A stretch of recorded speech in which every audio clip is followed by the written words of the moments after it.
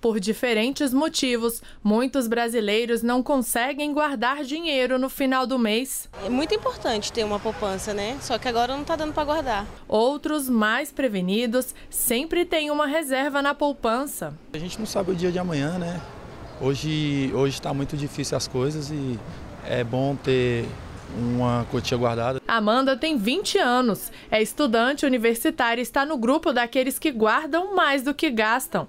Apesar de jovem, já se preocupa com o futuro e investe na poupança. Minha mãe, assim, ela sempre teve a o hábito de querer economizar, independente de gastar, mas também ter uma consciência para economizar. Me despertou a vontade de querer, de certa forma, poder juntar um pouco de algo que seja meu podendo ter consciência de que ou vai me ajudar, ou vai me socorrer, ou vai servir também para de repente adquirir algum bem, fazer algum investimento. Para quem tem o hábito de aplicar o dinheiro, o investimento mais seguro e tradicional dos brasileiros tem mostrado resultados positivos. Em fevereiro, a poupança rendeu mais que a inflação no acumulado de 12 meses, foi o melhor resultado desde novembro de 2007.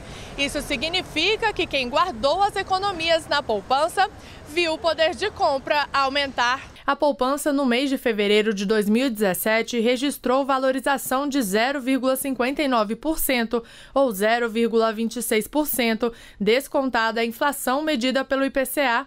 O ganho acumulado nos nove meses de junho de 2016 até fevereiro de 2017 é de 6,2%.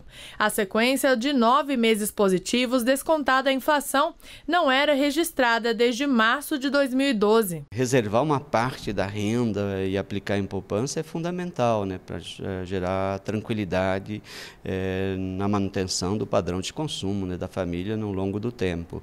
A poupança é uma alternativa boa de investimento, uma alternativa além de segura, ela não cobre imposto de renda e também tem uma rentabilidade positiva.